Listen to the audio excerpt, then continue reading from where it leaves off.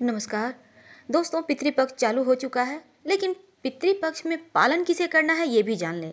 अगर आपके माता पिता जीवित हैं तो आपको पालन नहीं करना है।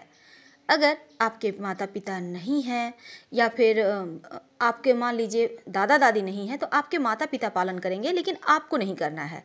ये बात ध्यान रखें, जिनके पितृ मतलब पिता नहीं होते हैं या माता नहीं होती हैं, उनको पालन करना चाहिए।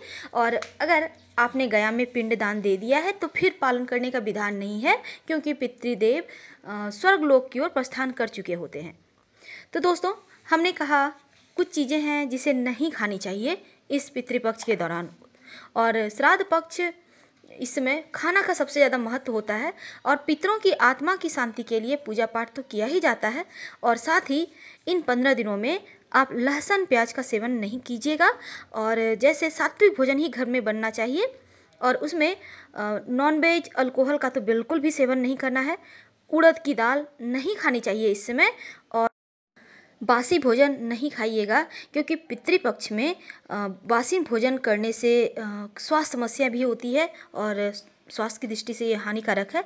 चना और चना का सत्तू नहीं खाना है पितृपक्ष के दौरान और मूली, कद्दू जिसे लौकी कहते हैं, खीरा, ये भी श्राद्ध पक्ष के दौरान खाने पर मनाही है हमारे शास्त्रों में।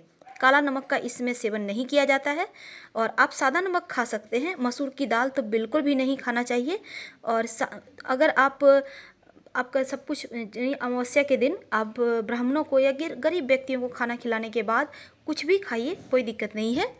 लेकिन इस समय इन चीज़ों से परहेज कीजिएगा। ऐसा करने से पितृदेव प्रसन्न होते हैं। वैसे तो विधान है, भूमि के नीचे यानी ज़मीन के नीचे से निकलने वाली चीज़ भी नहीं खाई जाती है। लेकिन कुछ चीज़ें जैसे मेन मेन है, आपको बैगन, साग, लहसुन, प्याज नॉन वेज जिसे मांस मदिरा कहते हैं और सत्तू, इन चीज़ों का सेवन मत कीजिएगा। और तुलसी के पत्ते आप खा सकते हैं। ये भी बहुत अच्छा है। संभव हो तो आप गंगा जल डाल के जल में स्नान कीजिएगा।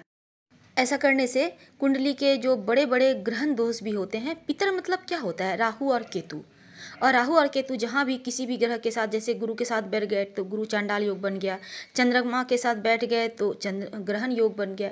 तो राहु चंद्रमा, राहु सूर्य, गुरु राहु, ये सब बुरे दोष होते हैं। इनको समाप्त करने के लिए आप पूरे पितृपक्ष में कभी भी अगर संभव हो तो किसी पवित्र नदी में नहा लीजिएगा या फिर अपने घर में ही जल में गंगा जल थोड़ा सा डालकर नहाइए। इससे भी दोष समाप्त होते हैं और पितर पक्ष के दौरान ही अपने हाथों से पीपल का पौधा कहीं भी सार्वजनिक स्थान पर लगवा दीजिए या खुद लगाइए।